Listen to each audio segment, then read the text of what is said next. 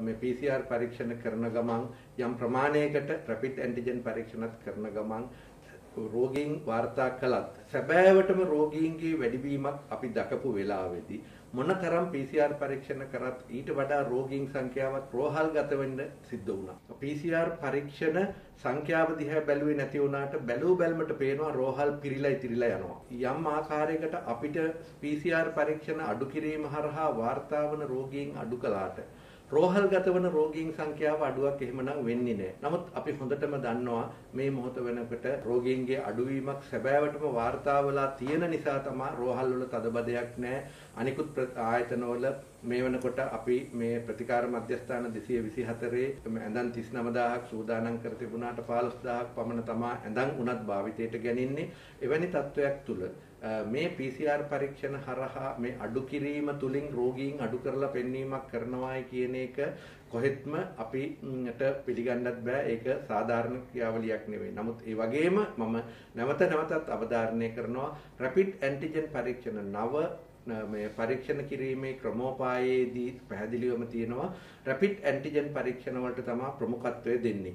ඒ ප්‍රමුඛත්වය දීම හරහා ක්ෂේත්‍රයේ කරන සියලු රැපිඩ් ඇන්ටිජන් පරීක්ෂණ දිනපතා වාර්තා වෙන්නේ නැහැ. අපිට සතිපතා මාස්පතා එවන මේ තොරතුරු මත තමා සම්පූර්ණ වාර්තා ගණන අපිට වාර්තා කරන්න පුළුවන් වෙන්නේ. ඒ සංඛ්‍යා ලේඛන දිහා බලපුවාම ඒ වගේම දිනපතා වෛද්‍ය මේ සැපයීම වංශයෙන් නිකුත් කරන මේ පරීක්ෂණ කට්ටල සංඛ්‍යාව දිහා බලනකොට දවසකට 25000 ඉක්මෝලා අනිවාර්යයෙන්ම මේ රැපිඩ් ඇන්ටිජන් පරීක්ෂණ මේ රටේ සිද්ධ වෙනවා.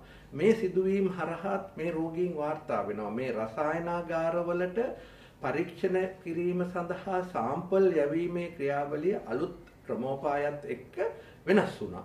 ඒ නිසා තමයි මේ වැඩි කොටසක් රැපිඩ් ඇන්ටිජන් පරීක්ෂණ හරහා සොයන ගමන් PCR පරීක්ෂණ සඳහා යවන සාම්පල් සංඛ්‍යාව යම් ප්‍රමාණයකට අඩු වෙලා තියෙන්නේ. නමුත් මේ ක්‍රියාවලිය නිසා මොනම ආකාරයකින්වත් රෝගීන් අඩුවෙන් පෙන්눔 කිරීමට සැලසුම් කර ක්‍රියාවලියක්වත් එසේ නෙවෙයි නම් මේ රෝගීන් මේ PCR අඩු කිරීම හේතුවෙන් රෝගීන් අඩුවෙන් පෙන්눔 කිරීමක් හෝ සිදු වුණ බව මම හිතන්නේ අපිට පිළිගන්න බෑ.